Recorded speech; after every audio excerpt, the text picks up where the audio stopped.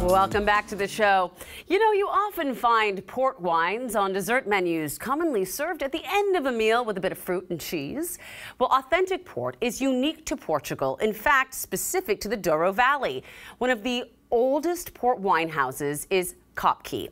Port winemaker Carla Tiago is here for a little tasting of port wine and some education because I think not a lot of folks understand what goes into port wine and why it is so special. Well, it's quite, quite special. It's one of the oldest uh, wine regions in the world. And it was one of the first demarcated and uh, regulated uh, wine region in the world.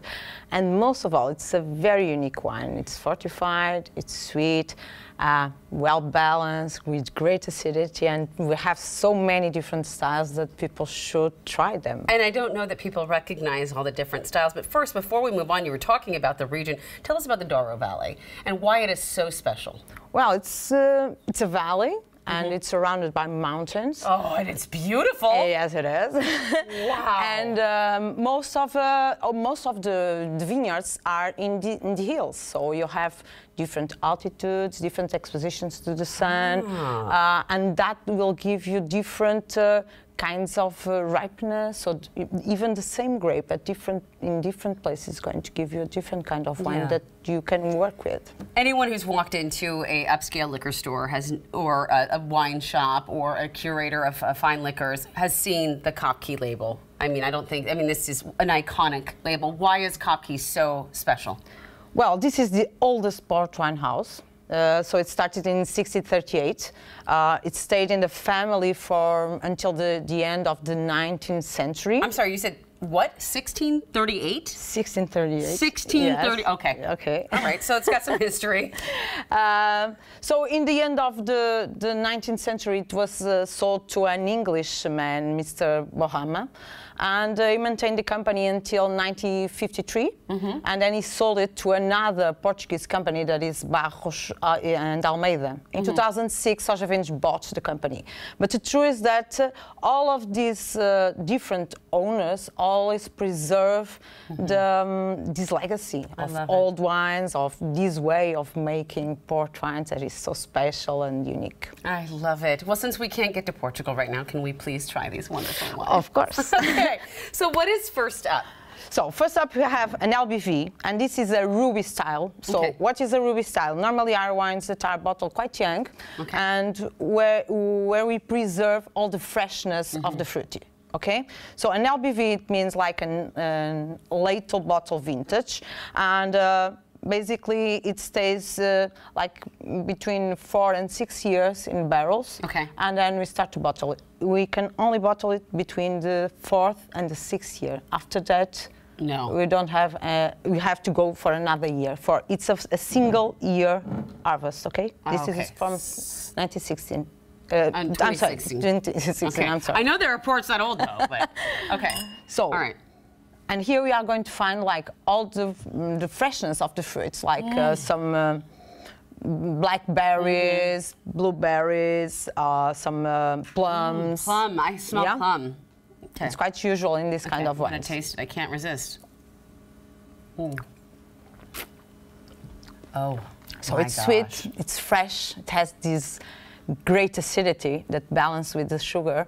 That is so just nice. beautiful. Isn't it? Oh. It's chocolate like that chocolate. Chocolate.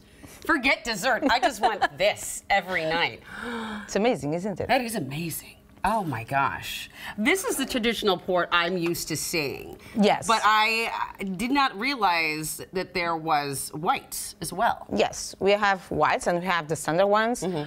Where the main difference is the quantity of sugar. Okay. And then we have these ones that are aged in barrels. Okay. So we have this style that is a 10, 20, 30 40 and okay. 50 years old wines okay. that are like a profile of wines that have been like 10 years in barrel, okay? okay. And all this aging has been in, in small barrels. So these ones will basically want them to oxidize very, very, very slowly. Okay. So in the ruby style, we don't want that. You don't want that. Okay. No. So what we are going to have here? So here we had like uh, the freshness of fruitiness. Mm -hmm. Here we are going to have dry fruits. Oh, okay. And some honey Okay. Some honeycomb. I love honey. And that has to do with the aging process? Yes. Okay. in the barrel. Ooh. Ooh, that's so. You It's get different, that honey isn't it? right off the top. Yeah. And then you have like some apricot, also dry apricot. Mm. Oh, that is yummy. Isn't great? That is sinful. Yes. And you can have it like with foie. I love yes, with something that's really savory. Yes. Okay, I like that. You know, I I had no idea that it could have such a, a honey smell Yes. and such a. Del- That's the beginning, One- especially one more taste. in these whites. That's the beginning. Hmm. When they start to have these kind of flavors, and after that will come like the spiciness with time in a barrel. This has got so many levels. Yes. It's just such a layered flavor. It's Wow, quite that- complex. It's very complex. It's it just it hits you with one thing and then it leaves you with another. All right. And then we have the same version. It's a 10 years old, Mm-hmm. but with uh, red grapes. Okay. Okay. And this is called tawny. It's tawny. Okay. So the tawny, uh, it's like oxidized wines, very, very, very slow oxidation. It doesn't seem quite as viscous as the others. Yes, this one seems like a little bit more sweet, perhaps. This Mm-hmm. Yeah. is going to be a little bit more complex, perhaps, in the Oh, nose. okay.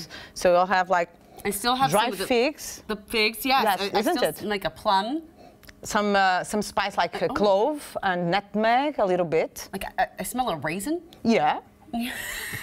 It's very fall. Some uh, some um, cinnamon. Cinnamon? isn't it? Okay. So this is the beginning. This is a young tawny, okay? It's a It's a 10 years old. tawny, a This is the baby tawny. A baby tawny. Okay. Can I try it? Of course. Oh my gosh. It's intense. I, it is. but it's really good.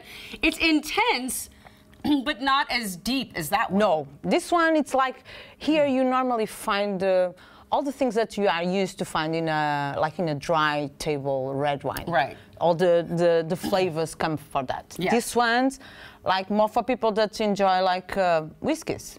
You have the same flavors.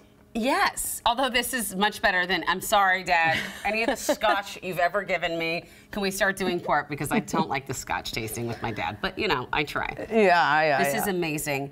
Where can we find these for our next dinner party? I mean, if you really want, I really wanted like have this experience with my friends next time. Where do we find? Well, I think here in Seattle you can find it in Total Wines. Okay. And downtown spirits also. Okay. And there are some others um, stores. You can Google it. I'm, I'm pretty sure that it's quite Okay. easy to find it. All right. Well, cheers again. Cheers. Thank, Thank you, you. so much. Thank this you so was much. so good. And right now we are all.